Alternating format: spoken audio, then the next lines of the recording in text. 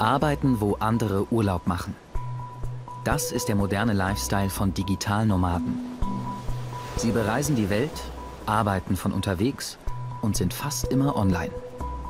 Viele stellen sich natürlich immer vor, du hättest immer Spaß, äh, immer im Urlaub und äh, so, aber jeder Lifestyle bringt seine Vor- und Nachteile. Ihre Lebensweise ermöglicht durch die digitale Revolution, die unsere Arbeitswelt von Grund auf verändert.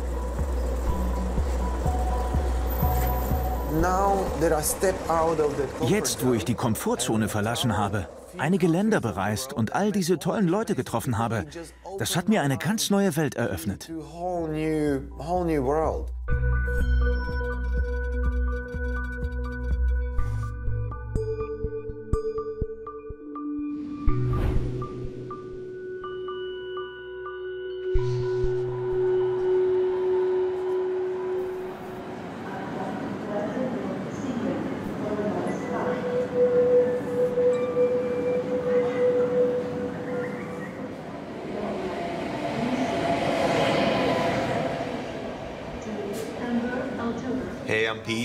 Ich bin Pete aus der Slowakei, bin Digitalnomade.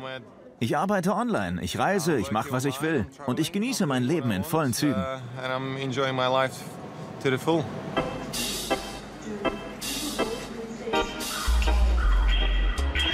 In Berlin werde ich hoffentlich einen weiteren Arbeitgeber finden. Denn Berlin ist voll von Startups und jungen Firmen. Ich schaue, ob ich einen Remote-Job bekommen kann, bei dem ich von unterwegs aus arbeiten kann.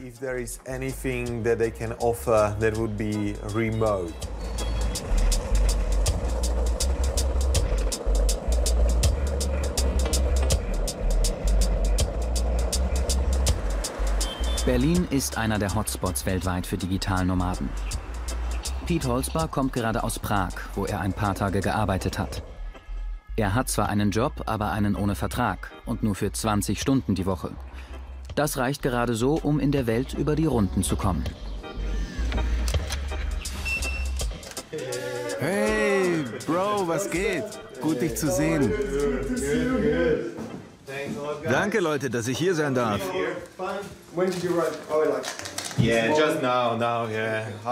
Ich bin sehr früh heute losgefahren.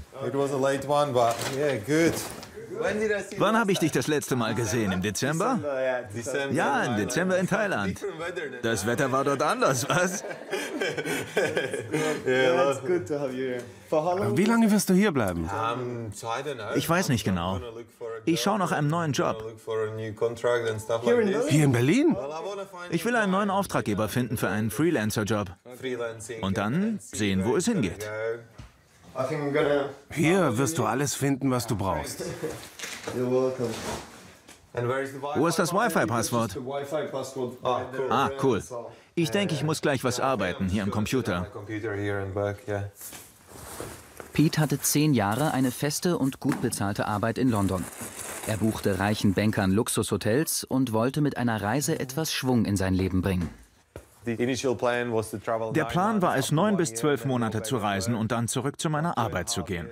Jetzt sind schon zweieinhalb Jahre vorbei und ich reise immer noch, verdiene genug Geld, um weiterzumachen. Die Dinge haben sich geändert. Ich bin so froh, dass ich nicht alles vorplane, dass ich irgendwo hin muss. Das würde meine Möglichkeiten definitiv einengen. Yeah. Ähm,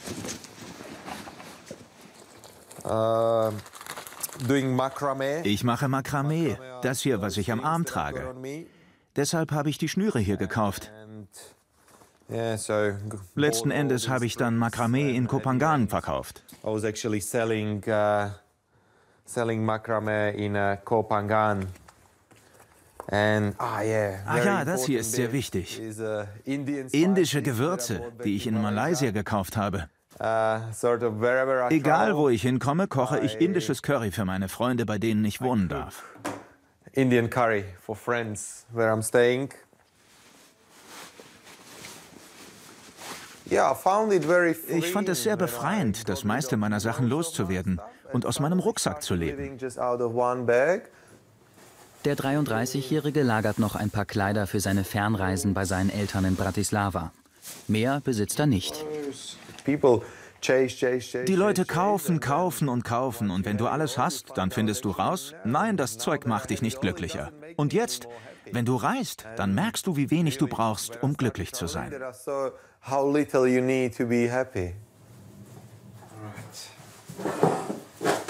Doch auf einen robusten Laptop und Smartphone kann auch er nicht verzichten.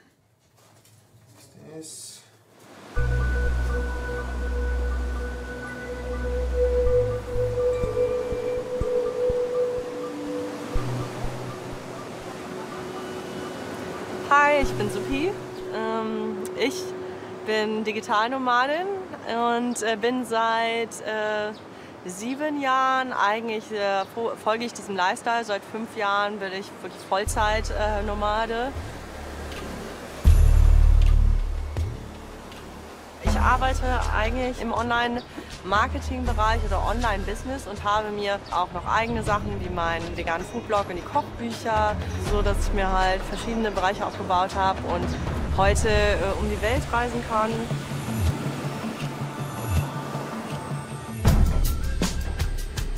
Suparni Neuwirth alias Supi ist im Sommer häufig in Europa unterwegs.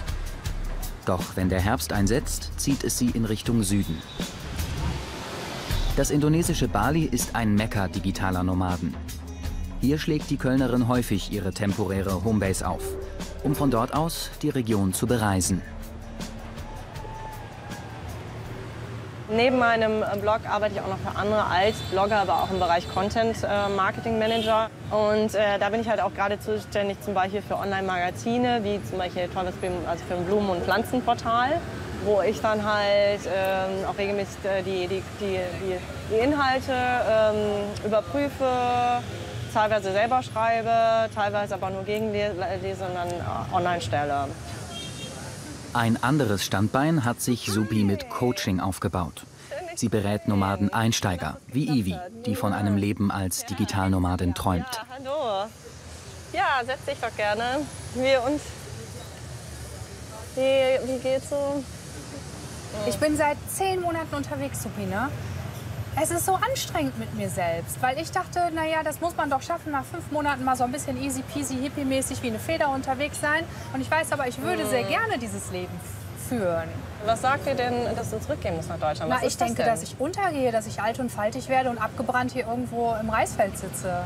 Mhm. Dass ich kein Geld mehr habe und dass ich aus allen Versicherungen rausknalle. Und, und ich, hatte, ich hatte ja deine Unterlagen schon gesehen. Du hast ja. mir ein bisschen was, das, was ich gelesen habe, war ja nämlich auch schon dass du ja eigentlich schon eine sehr, sehr gute Basis hast. Ja.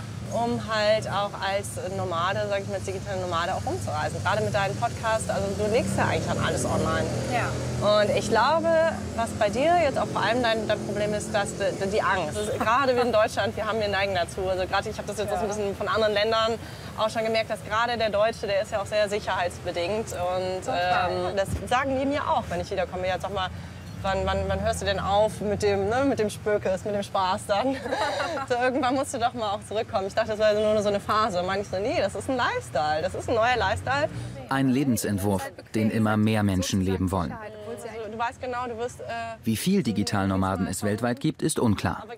Die verrücktesten Schätzungen gehen von etwa einer Milliarde Menschen bis 2035 aus.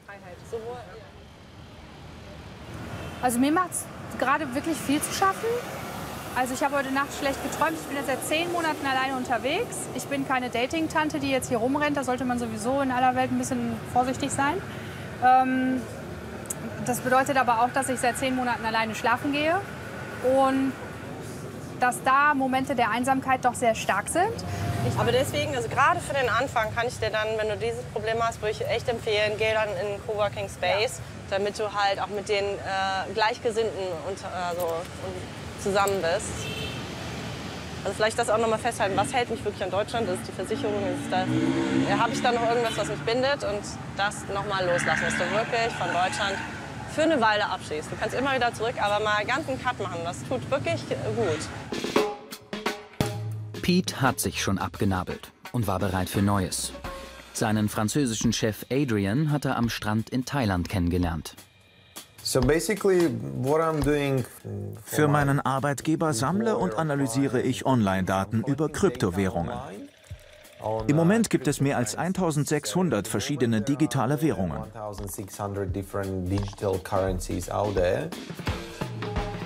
Hier zum Beispiel habe ich eine digitale Währung mit dem Namen 10x. Und was ich unter anderem herauszufinden versuche, ist, wie viel Geld hat die Währung bei ihrer Veröffentlichung erhalten.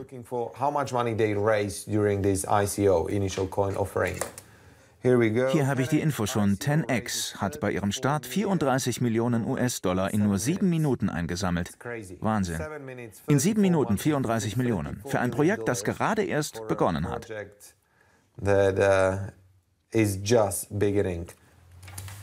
Mit solchen Summen hat Pete es jeden Tag zu tun. Für seine 20 Stunden digitale Arbeit pro Woche bekommt er 800 Euro im Monat. Ich kann von meinem Einkommen leben, aber nicht in Europa. Es ist günstiger in Asien. Im Moment bin ich in Europa, weil es hier einfacher ist, einen weiteren Job zu finden for uh, more work. Ah, here we go. Lucian is Ah, Lucian ruft mich an. Hey, Hörst Lucian, du mich? Can you hear me? Pete lernt gerade seinen rumänischen Kollegen ein. Hat Adrian mit dir über syrische Kryptolabore gesprochen? Oh, nein, Adrian hat noch nicht mit mir drüber gesprochen. Ah, okay, okay. Okay, ich werde das checken. Aber ich denke, er schläft schon, denn in Tokio ist es schon Nacht. Wenn du noch Fragen hast, lass es mich wissen.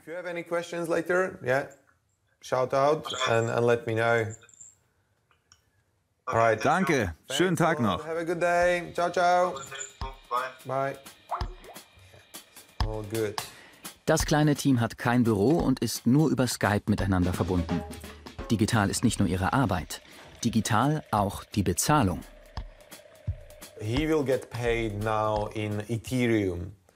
Er wird in Ethereum bezahlt. Meine Wahl war am Anfang Euro, aber dann ließ ich mich einmal in Ethereum bezahlen, als die Währung am Fallen war. Uh, ich sah darin eine Möglichkeit, Gewinne zu machen. Und seither werde ich öfter in Ethereum bezahlt. Die Welt der Kryptowährungen. Für Pete und seine Kollegen Normalität.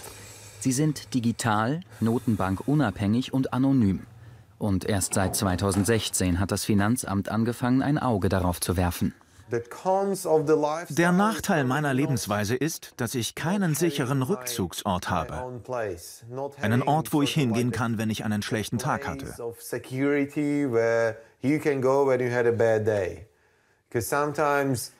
Manchmal fühlst du dich müde und ausgelaugt. Oder du bist krank und dann fehlt dir ein Ort zum Ausruhen. And you want to go back and just lay down and chill.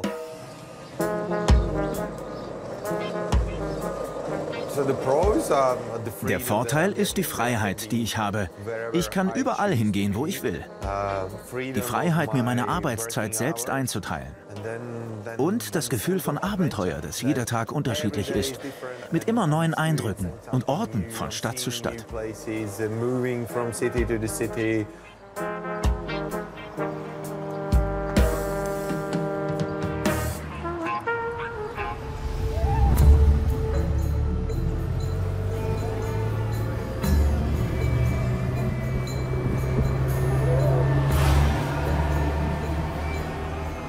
Supi ist auf dem Weg in ein Coworking Space in Ubud. Fast in jeder großen Stadt gibt es solche Arbeitsplätze zum Mieten für Freiberufler und Nomaden. Dort will sie Ivi zeigen, wie sie sich vernetzen kann mit anderen Digitalnomaden. Ja, also da unten, das war halt der äh, akklimatisierte Bereich, der Ruheraum. Und hier ähm, darf man halt auch sprechen, das ist der offene ja. Klar, also kannst du dann einfach in die Sitzgruppen gehen, kannst dich dazu gesellen, ans Fenster setzen oder im Autobereich. Ja. Und hier nebenan ist noch ein Meetingraum, den kann man auch nutzen, äh, wenn du mal irgendwas machen willst oder mit Präsentationen, Tafel und Board. Musst du dich dafür anmelden oder darfst du da jederzeit sitzen? Ähm, du darfst da sitzen, aber wenn du ein Meeting, also wenn du wirklich ein Meeting machen willst, dann musst du das vorher anmelden und an der Rezeption. Ja. ja. ja aber ansonsten Schön. kannst du es frei nutzen und ja. Wasser gibt es umsonst. Und ja, sollen wir uns vielleicht draußen hinsetzen? Ja, gerne. Ja. Wow. Mega. Von hier aus Super schön.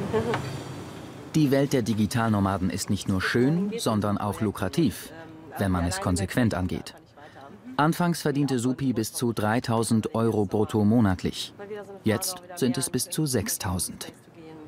Es ist einfach ähm, für viele Digitalnomaden halt einfach auch ein Ort, wo sie, ähm, wo sie wirklich ähm, neue Projekte angehen können und an bestehenden Projekten Ja. gemeinsam neue Teams aufzubauen und äh, da auf einem ganz anderen professionelleren Level zu arbeiten als jetzt ähm, wenn du halt teilweise einfach so irgendwo am Strand allein für dich arbeitest. Ne? Und es ist natürlich für dich wäre es jetzt auch optimal, gerade weil du sagst, du fühlst dich in dem Hamsterrad so ein bisschen drin ne? und so. Ja. Und ich glaube einfach hier Leute zu haben, die, die eigentlich auch genau dieselben Probleme haben und, ähm, und dich damit dann halt zusammenzutun, dann fühlt man sich auch nicht mehr so alleine. Ich fühle mich halt immer so, wenn ich alleine zu Hause bin, so eine Mischung aus Urlauber.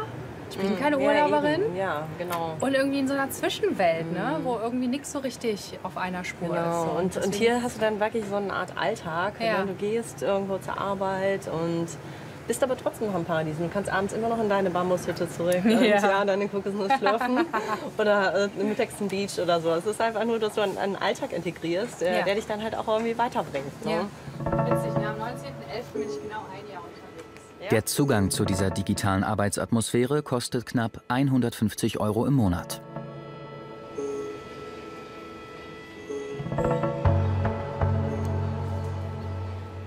Trotz aller Reiselust hat Supi auch ihren Lebensabend im Blick. Doch die deutsche Rentenversicherung ist dabei nicht mehr ihre erste Wahl.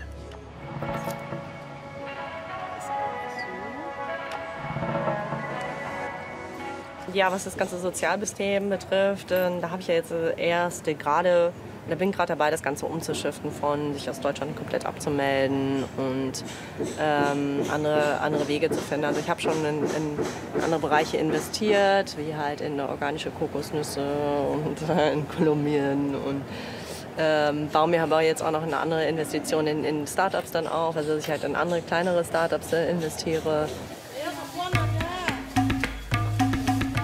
Auch über Immobilien in Panama denkt sie nach, inklusive zweiter Staatsangehörigkeit.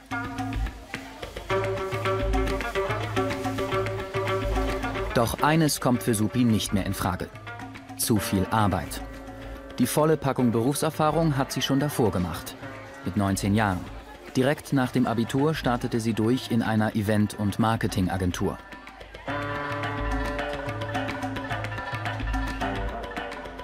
Ja, ziemlich viele Stunden gearbeitet, viel Verantwortung gehabt und habe eigentlich so überwiegend Agentur und Arbeiten im Kopf gehabt, bis ich dann halt dieses Burnout hatte. Das ist jetzt eigentlich schon so zehn Jahre hier. Ähm, und danach halt echt gemerkt habe, warte mal, das kann ja wohl nicht alles sein. Einfach nur arbeiten für jemand anderes und äh, dann halt total verbraucht zu sein, das schon in jungen Jahren. Dann konzentrierte sie sich auf ihre Leidenschaften. Reisen, Yoga und Kochen. Seither bereitet Supi einmal die Woche ein Gericht zu, das sie auf ihrem veganen Foodblog veröffentlicht. Daneben ist der digitale Tausendsasser auch Coach für ganzheitliche Ernährung. Heute kocht Supi mit ihrer indonesischen Vermieterin. Weil immer häufiger deren westliche Gäste nach vegetarischem oder veganem Essen fragen, hat Kadek sie darum gebeten. Schön, dass du da bist. Lass uns einen Kochkurs machen. Ich zeig dir, wie man Sommerrollen macht. Lass dich inspirieren. I want to try and teach with you, okay? Ja, okay. Ich mache das ja grundsätzlich, dass ich halt auch Rezepte kreiere oder nachkoche, veganisiere, ähm, mich inspirieren lasse von anderen, die abwandle und dann halt äh, das Ganze, ähm, die Rezepte dann auf meinen, meinen äh, Blog stelle. Eine stete Quelle ihrer Inspiration sind die kulinarischen Eigenheiten der Länder, die sie bereist. Heute ist der scharfe Erdnusssoßen-Dip das Lokalkolorit. Doch die Berührungspunkte digitaler Nomaden zu Einheimischen und deren Kultur sind eher selten. Ich sehe das äh, auch so, dass viele Nomaden wirklich in so einer Parallelwelt leben. Ähm, dadurch, dass die wirklich fast nur unter sich sind. Die gehen in den Coworking Space von morgens bis abends, sind dann da. Abends gehen sie dann irgendwie gemeinsam trinken, dann geht man in die Lokale, die natürlich sehr westlich angehaucht sind und dann lebst du eigentlich deinen kompletten westlichen Stil in einem anderen Land. Und ich will mich da auch gar nicht so ausnehmen. Also ich versuche mich schon immer äh, zu integrieren. Okay, Okay, have a good day. Yeah, goodbye. See you soon. Doch dafür ist Supi zu kurz an einem Ort, um sich wirklich auf Sprache und Kultur einzulassen. Dieser ist eher schöne Kulisse. Wenn ich das in Kurzform sagen soll, sage ich oft, ich bin Lifestyle-Designer, weil eigentlich kreiere ich mein Leben oder meine Projekte um meinen Lifestyle herum. Also ne, ich sage, ich überlege mir, wie will ich eigentlich leben und pass, passen die Jobs, passen die, die Sachen, die ich machen will, aber auch Hobbys, passen die zu dem Lifestyle, den ich leben will. So, und dann stelle ich, dann strukturiere ich mir das rum und versuche das alles in der Balance zu halten. Ästhetisch und gesund müssen die Fotos für ihren Blog aussehen. Durch Produktplatzierung von Küchengeräten und Links zu Lebensmittelanbietern verdient sie Geld.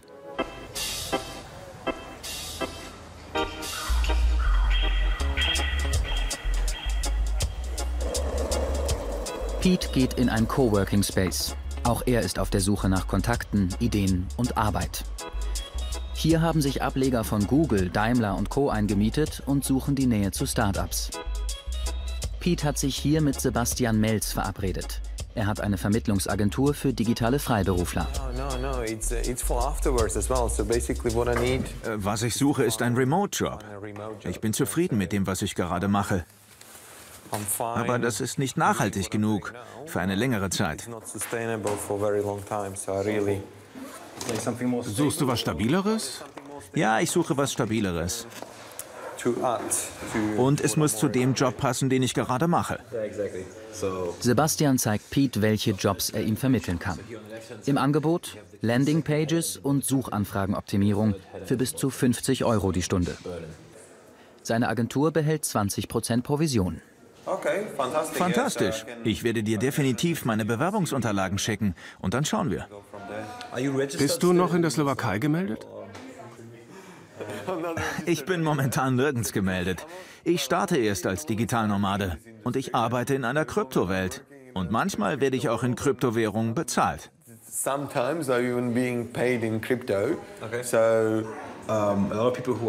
Viele Leute, digitale Nomaden, werden in Zukunft aufwachen und werden erkennen, ich werde älter.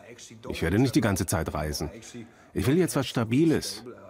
Ich will, dass meine Fixkosten bezahlt sind, meine Versicherung, meine Rente. Wenn du älter wirst, was wirst du am meisten bereuen? Und die Leute werden bestimmt nicht bereuen, dass sie nicht genügend Steuern oder Versicherungen bezahlt haben. Sie werden bereuen, dass sie diese unvernünftigen Entscheidungen nicht getroffen haben. Unvernünftig oder unklug aus Sicht unserer Gesellschaft. Am Ende sind es diese Erfahrungen, die uns glücklich machen und die uns gute Zeiten bringen.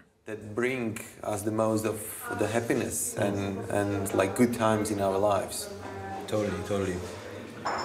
Reiseeuphorie kennt Sebastian als Teilzeitnomade selbst. Doch dauerhafte digitale Walz hat noch andere Tücken. Alle sagen, sie können digitale Nomaden sein. Ich bin der Typ, der reist und seinen Job von unterwegs aus macht und genügend Geld hat. Ja, wenn du gut genug bist und genügend Arbeitserfahrung hast, wenn du die Basics hast, wenn du einen guten Lebenslauf hast. Aber wenn du damit startest und wenn du denkst, du könntest dich von Job zu Job hangeln, dann bist du viel zu naiv. Das läuft so nicht. Du wirst fallen tiefer und tiefer. Und nur die Leute, die stark genug sind, immer wieder aufzustehen, die werden es schaffen. Ich kenne die Statistik nicht, aber wohl weniger als 20 Prozent der Leute werden überleben.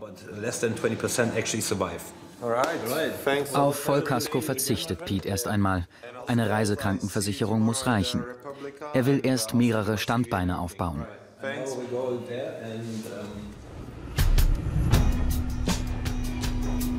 Supi hat diese Phase schon hinter sich. Und doch, ein letzter Schritt fehlt ihr noch. Wo gehörst du ein Land, wenn du irgendwie mindestens 180 Tage irgendwo da in dem Land bist? Dann meinst du, ich bin in gar keinem Land 180 Tage im Jahr. Ja? Also bin ich doch auch nirgendwo wirklich, dass ich irgendwo in ein Land gehöre. Ich bin zwar Deutsch und ich werde immer Deutsch bleiben, aber da ich nicht wohne, muss ich da auch nicht gemeldet sein und muss auch nicht dort äh, meine Steuern zahlen. Und äh, bin jetzt gerade wirklich dabei, dass ich mich äh, wirklich mal ganz aus Deutschland abmelde und werde tatsächlich nach Zypern gehen. Das gehört immer noch zur, äh, zur EU. Ist ein Offshore-Bereich, aber noch in der EU. Das heißt, äh, du zahlst die Euros. Die Rechnungen werden auch viel, also auch von äh, europäischen Ländern ganz normal anerkannt. And then slowly, from the heart, the energy flows to your palms. Ground, heart, palms. Für sich selbst sucht Supi die Spiritualität. Sie ist aber auch ein Influencer, die Neunomaden inspiriert. Die etablierten Nomaden hypen in den Social-Media-Kanälen das verlockende Traumbild dieses Lifestyles. Ein Lebensentwurf, der boomt und von dem Supi und eine neu entstandene Industrie profitiert. Also auf der einen Seite gibt es immer mehr digitale Nomaden, Konferenzen, Workshops, mittlerweile Coachings äh, oder irgendwelche Bücher. Wie kann man digital Nomade werden? Was braucht man? aber halt auch so in Produkten. Ich hatte jetzt auch irgendwie den ersten digitalen Nomaden Rucksack mit irgendwie ähm, Panel, also mit, äh, mit äh, Solarpanel und allem, damit du deinen Rucksack dann, dann immer von überall auch arbeiten kannst, ne? damit du dann die Energie dann laden kannst, wenn du auch irgendwo mitten auf dem, im, im Dschungel stehst oder weiß ich nicht wie.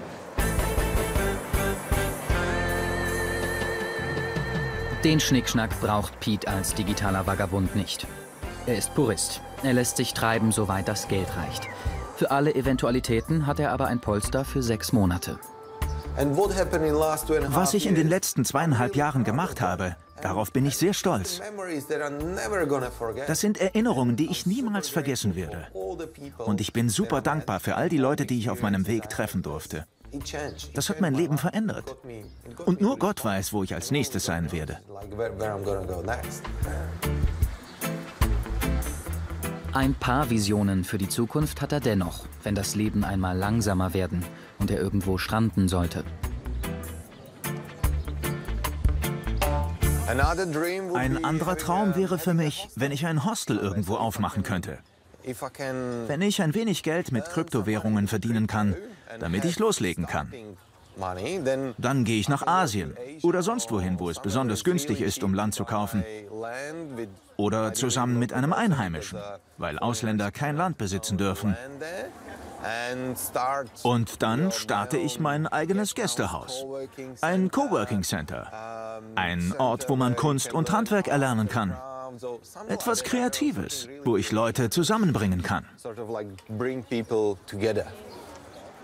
Doch nächste Woche geht er erstmal nach London, wo er eine Boat Party auf der Themse veranstaltet.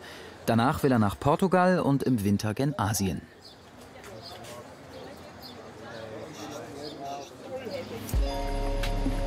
Supi chillaxt noch eine Woche auf Bali und arbeitet in den Sonnenuntergang. Denn abends auf Bali bedeutet vormittags in Deutschland und die Kunden verlangen jetzt nach ihr. Nee, also ich schließe es jetzt nicht aus, nach Deutschland äh, zurückzugehen. Ich würd, da bin ich auch so sagen, lieber sag niemals nie. Ich kann es mir jetzt zwar gerade nicht vorstellen, aber wer weiß. Also gerade so im Alter, so von den Erfahrungen her von anderen, ähm, ist es ja schon so, dass man auf Dauer ja eher ein bisschen sesshafter wird. Ob das dann wirklich ist, dass ich mich an einem Ort niederlasse und ob das dann Deutschland ist oder in Panama oder Bali oder in Portugal, das weiß ich jetzt noch nicht. Momentan ist noch nicht so die klare Tendenz für die spätere Zukunft dann zu sehen.